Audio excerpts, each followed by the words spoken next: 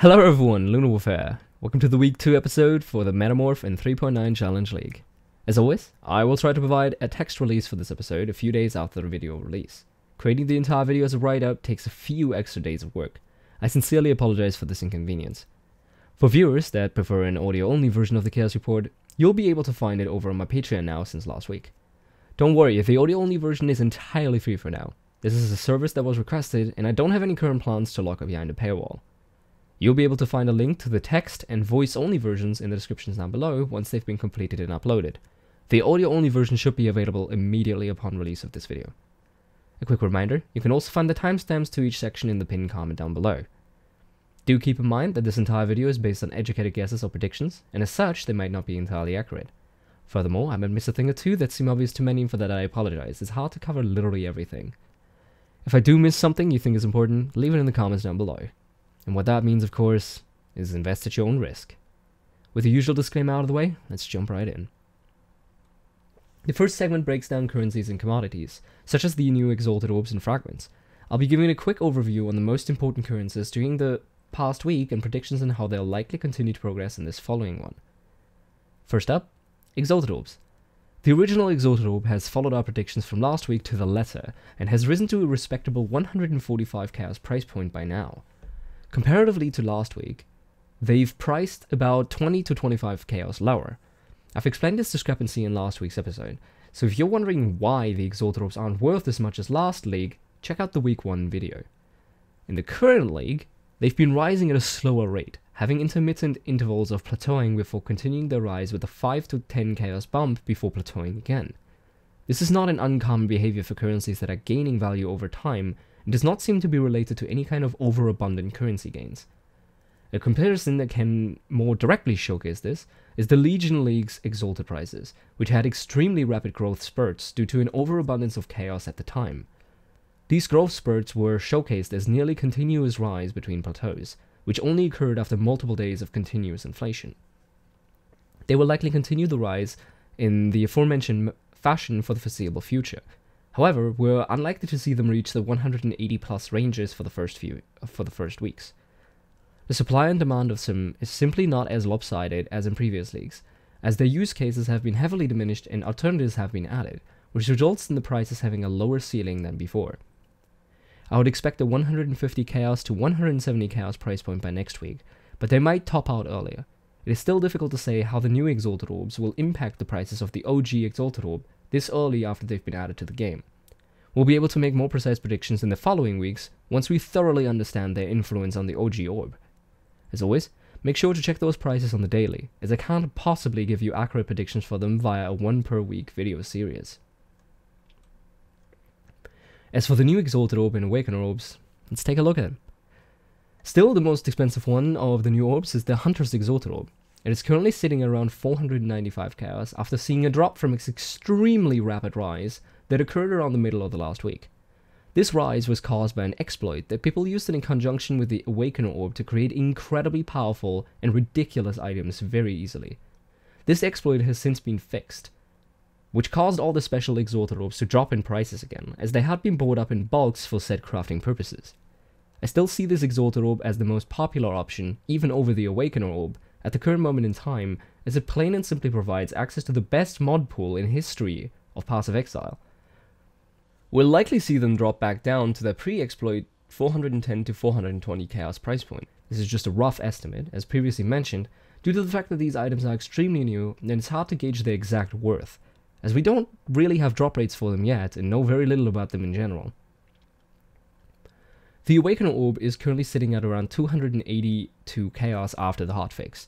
As mentioned in the Hunter Orb rundown, there has been a gigantic leap in prices around the middle of the last week due to the exploit becoming public knowledge and players trying to quickly cash in on the amazing possibilities the exploit provided.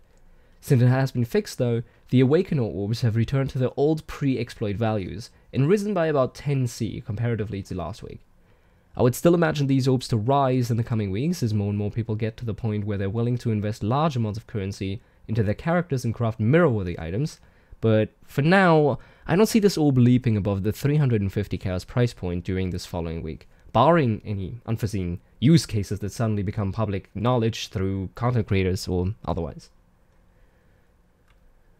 Crusader and Warlord's Exalted Orbs have also seen a similar bump around the Wednesday to Thursday area of last week, but have since then dropped down to 282 chaos each. Due to their very similarly useful mod pools, these two will likely continue to stay near each other's price points. As of the moment I'm scripting this script, they're exactly as expensive as the other. From what I can tell so far, the Conqueror Exalted Orbs seem to only drop from Awakener level 4 plus boss fights, with an increased chance per Awakener level above 4.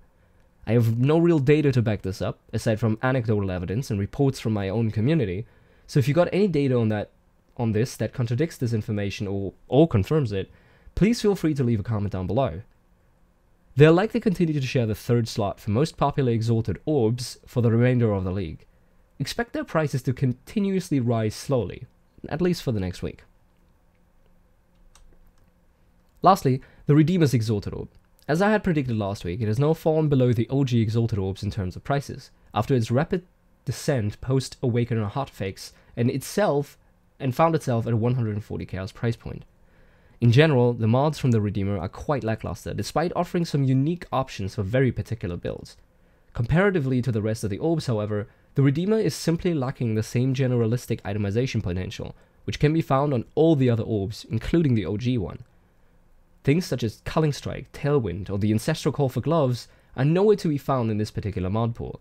The only thing the Redeemer Orb does better than others is to provide elemental penetration for cold abilities and general scaling for that particular niche of characters.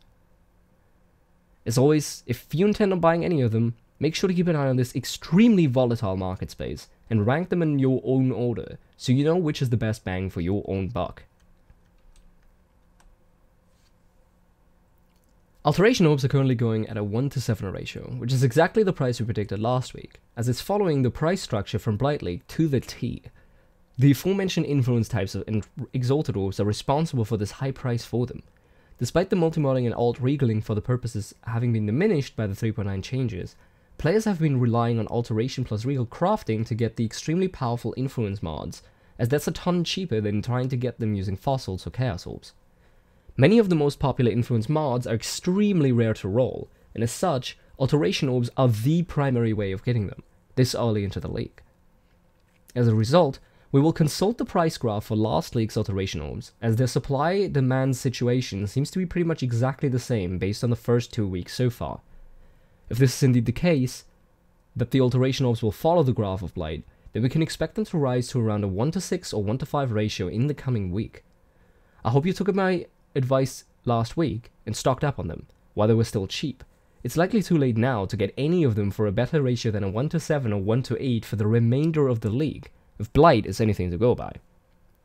My usual reminder if they reach the 1 to 6 or 1 to 5 ratio, make sure to pick up a few more rare items per map, as it'll be worth the time to sell them for extra alteration shards after each map, at least for the slower players.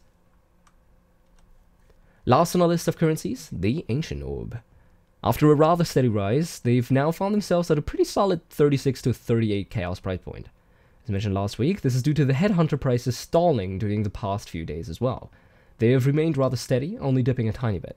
Since the Ancient Orbs are directly responsible for the supply and demand game of the Headhunter and Nemesis Xana leagues, their prices are inherently linked. Additionally, if we compare the prices to last league, we can see a similar picture to the prices for this league. Considering that the alteration prices have lined up nearly one to last league, and the ancient orb prices being pretty close as well, we can assume that the economy for these is rather similar comparatively to last league.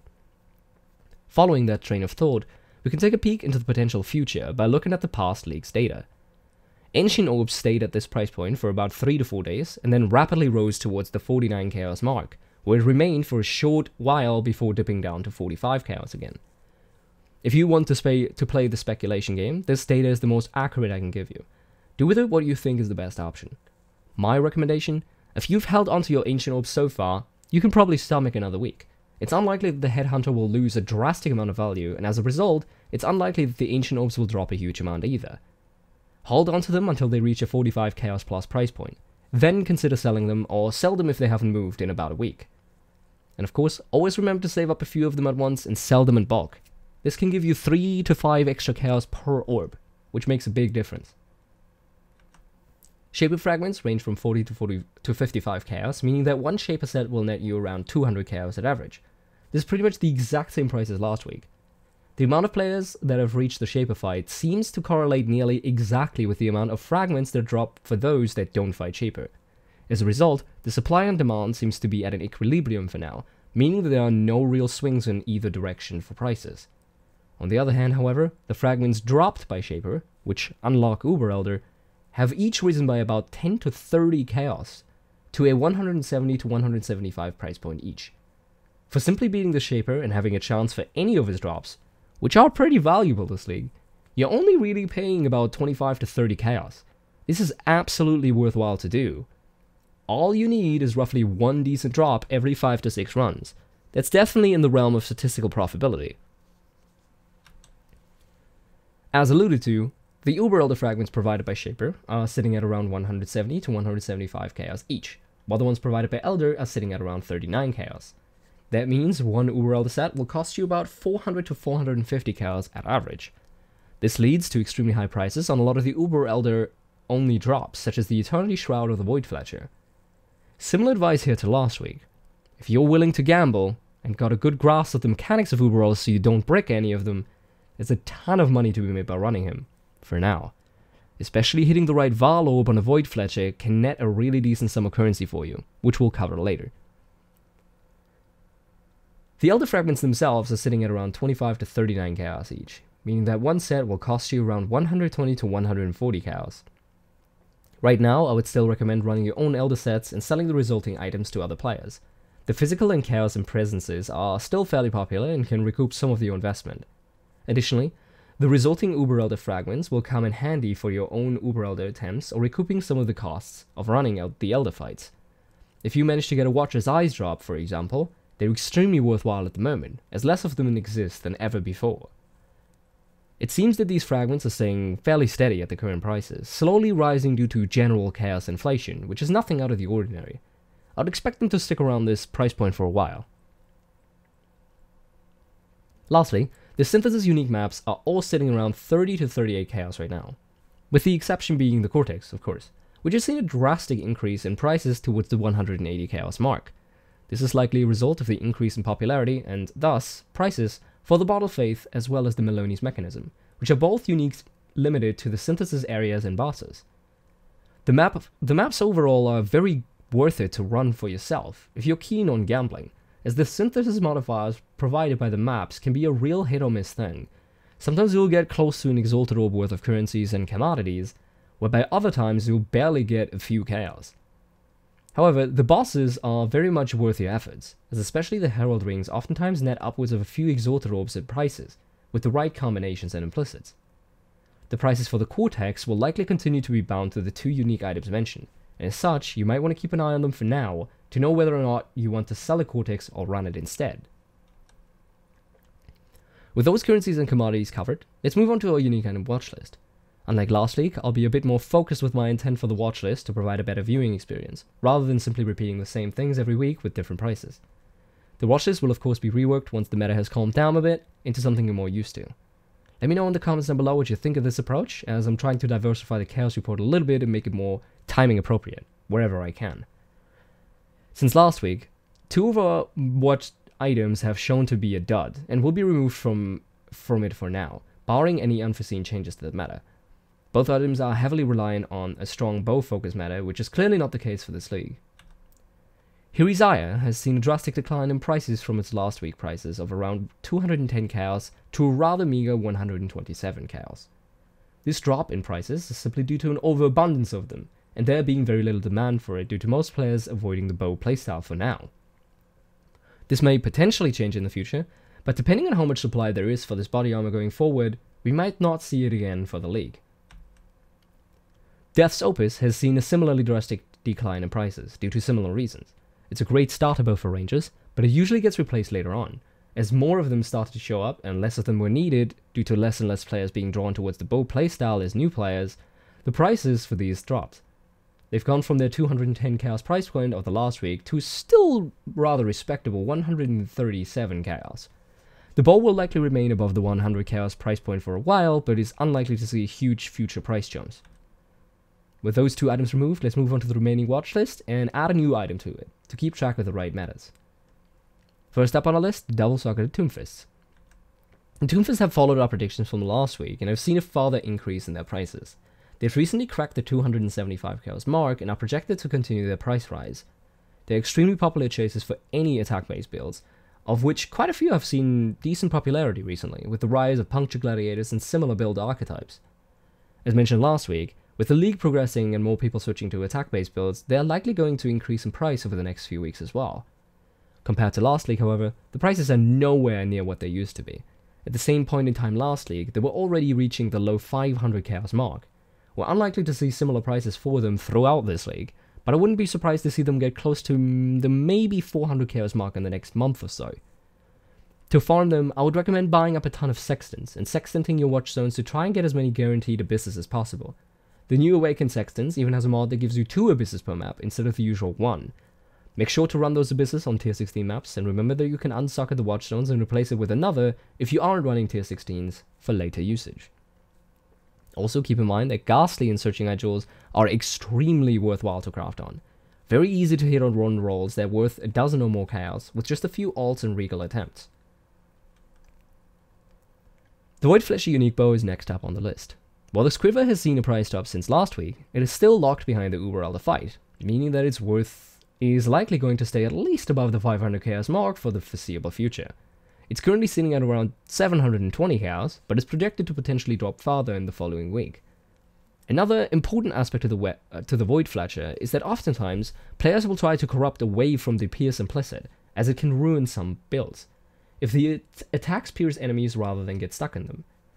Successfully corrupted Void Fletchers in that manner are way more expensive than the base version of the bow, they will easily score prices at the 12 plus X area, with some specific implicit corruptions even reaching multiple dozen exalts and even to up to a whole mirror for specifically the additional arrow implicit. If you intend to corrupt this item, I would highly advise the Corruption Chamber in Alva's Temple, as the double implicit can really bump the price and usability of the quiver. The last unique item the list for today is the Cospri's Malice. This sword has been covered in last week's episodes as well, and is a staple in the cast on crit playstyle. It is usually used by Cycloners in combination with the Ice Nova skill. Its Cyclone is the fastest hitting ability in the game that can reliably trigger, and Ice Nova being the best cold based AoE skill. This leads to the builds having a huge amount of clear with very little work necessary to keep it up. The Cospri's Malice is currently sitting at around 6x or about 840 chaos, and is likely going to see a further price increase, as it has displayed since the start of the league. The reason for the high price is mostly due to the fact that the Cospri's Malice is one of the few unique items in the game that has no real way to target farm it. As a consequence, this item will only be useful to this analysis as a way to keep track of the cast on crit meta, rather than an actual advice bid for farming purposes. Now, moving on to the third segment for this video, the meta analysis. Since last week, we've seen even more summoners join the ladder, while pushing farther away from their Saboteur brothers. Necromancers are up to a 27% play rate, which is a 3% up, while Saboteurs are down by 3% to a 14% play rate. Many players have realized that most builds are more difficult to scale into the higher tiers of maps and bosses, and as such have resorted to the easy way out, that being the Summoner playstyle.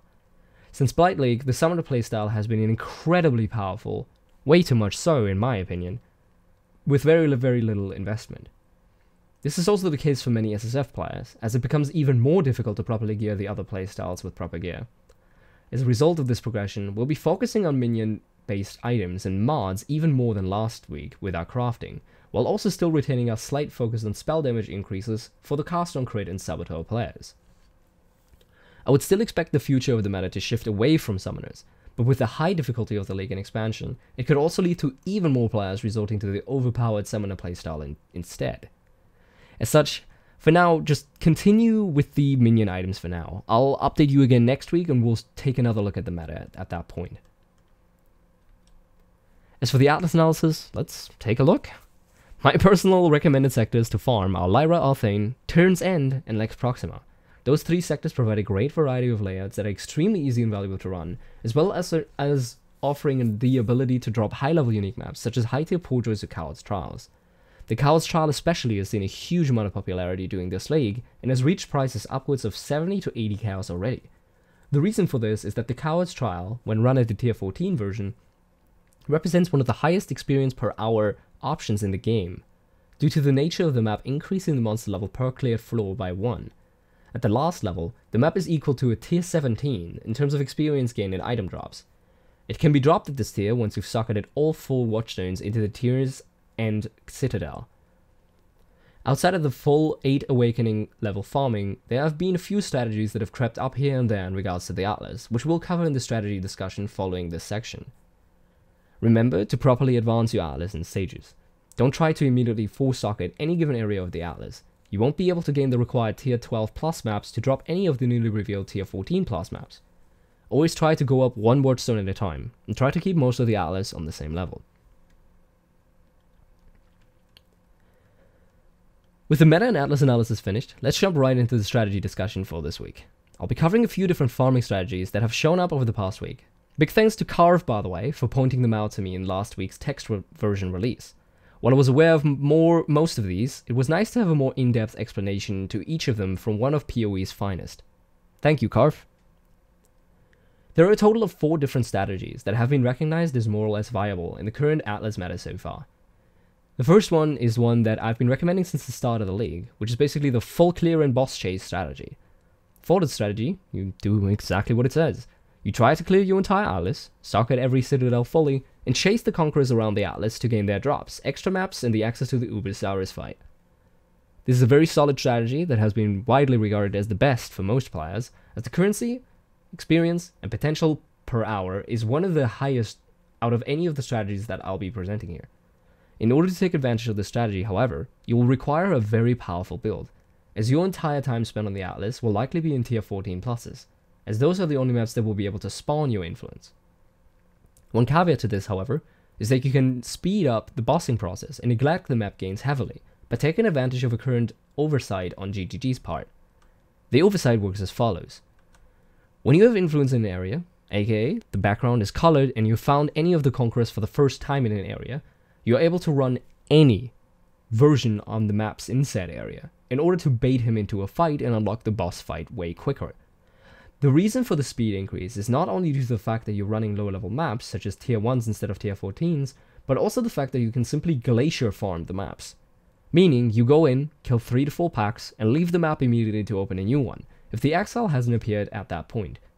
The conquerors can only spawn at the beginning of a map, essentially confirming to you their presence after 3 or 4 packs at best. This can also be used to great effect in conjunction with the Zana Master missions, as you can simply use up the white Zana missions you have saved up from your previous Atlas progression and run them at the same time.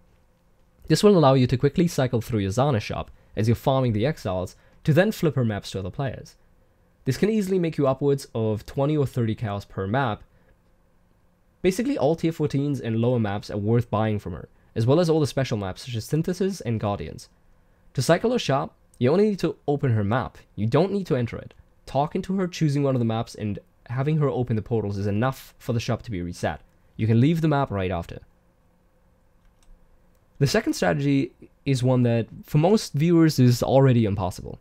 This strategy involves manipulating the atlas through purposefully not completing specific maps. The only way for most players to get to this strategy would be to start an entirely new account, as your atlas is locked to your normal progression already. I would also not recommend this method of farming, as you'll be locked into two maps in two sectors, drastically lowering your atlas completion and awakening bonus, as well as requiring you to remove one entire awakening level at all times.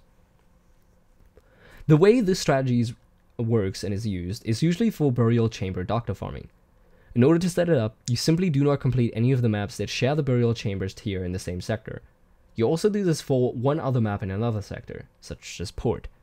Once you've completed the rest of the atlas and acquired all the watchstones, you then ping-pong the watchstones between the two sectors. When you're running Burial Chamber, you upgrade the Citadel with all 4 watchstones, to have it be as tier 16 on the atlas, while running maps that are substantially lower, such as the tier 9 version of it. Meanwhile, you remove all watchstones on the Port sector Citadel to, go, to get it down to a tier 9. This will make Port the only tier 9 on the atlas, meaning that any and all tier 9s that will drop from burial chambers as you're running it at tier 9 will be ports. Once you've used up all of your burial chambers, you flip the process. You tier 16 the port sector with the stones from burial chambers, so burial chambers is your new and only tier 9 while running the tier 9 ports.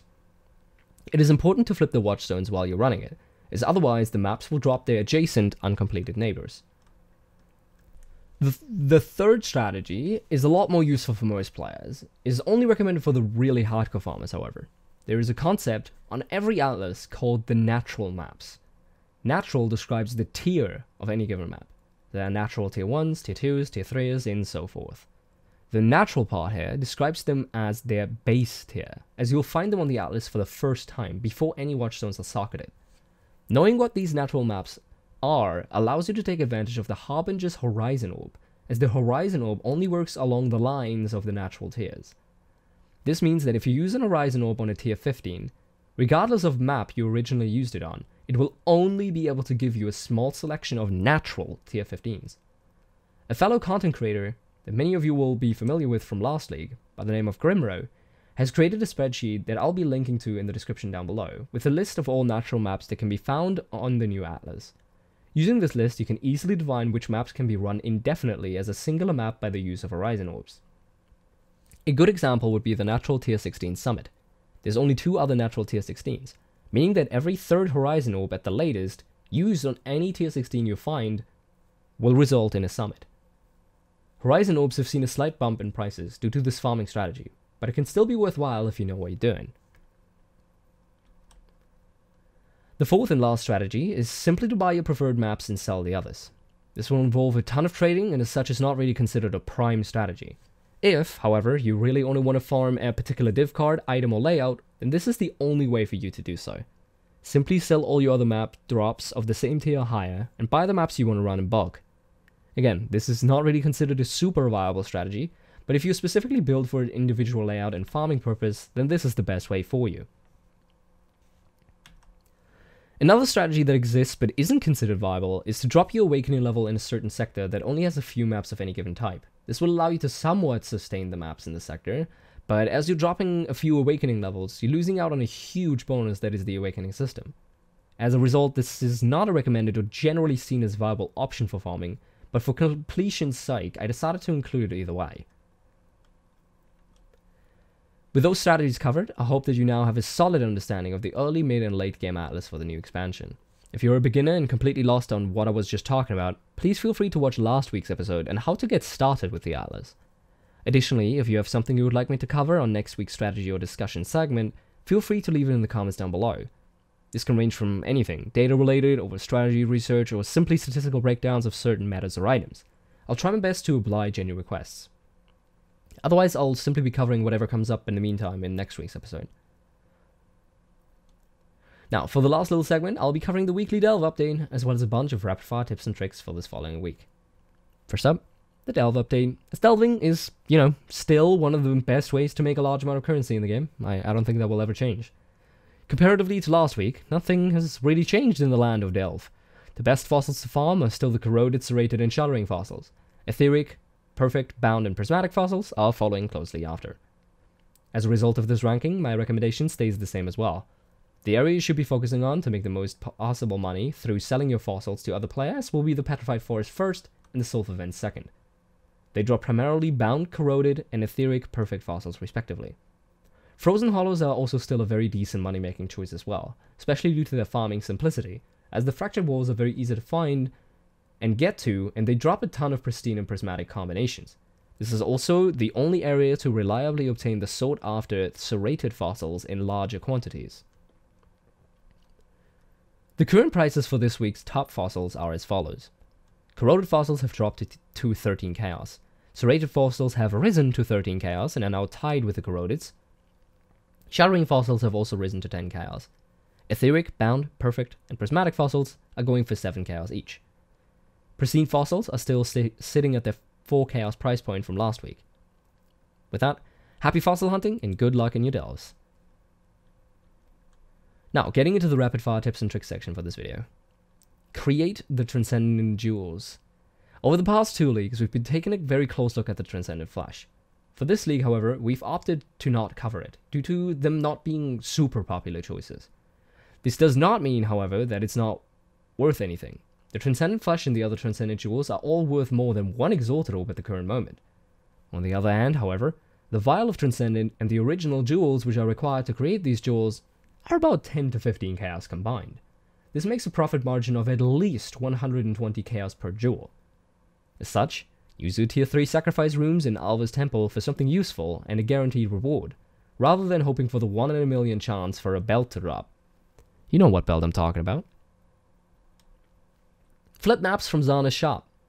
I've already mentioned this earlier in this episode, but as last week, this still is an incredibly lucrative option. You only have to open the Zana map inside of the map you're running to reset the shop. You do not need to enter it, nor do you need to complete her mission. This makes it extremely easy to cycle through her shop in quick succession using yellow or even white master missions as explained earlier and maps.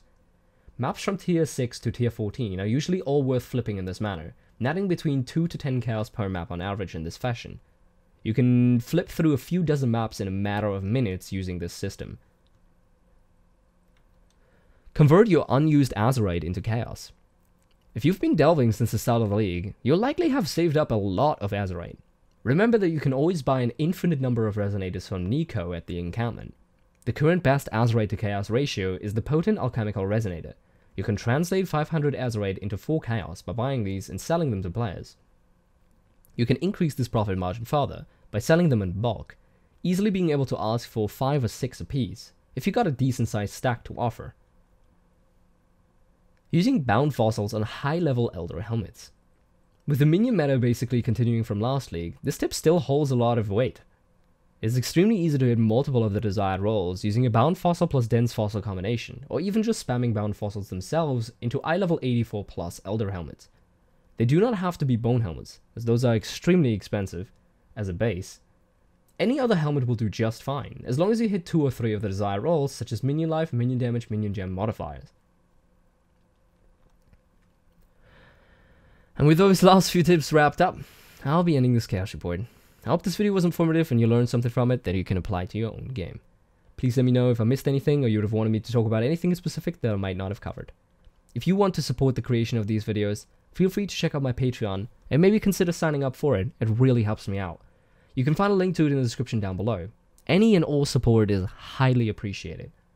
If you have any suggestions for Patreon rewards that you guys would like to see, Please let me know on my Discord's feedback channel, down below this video in the comments, or on my Twitter. I read all of your comments everywhere. You can find a link to my Twitter and Discord down below in the description as well. And of course, don't forget to subscribe, hit the bell thingamajig, like or dislike the video, and check me out over on twitch.tv slash I stream pretty much every day and will be live throughout this entire next week as well. If you need background noise, I will always be yours. You can find a link to the stream in the description down below as well. And with that, Thanks for watching, and keep farming those Exords.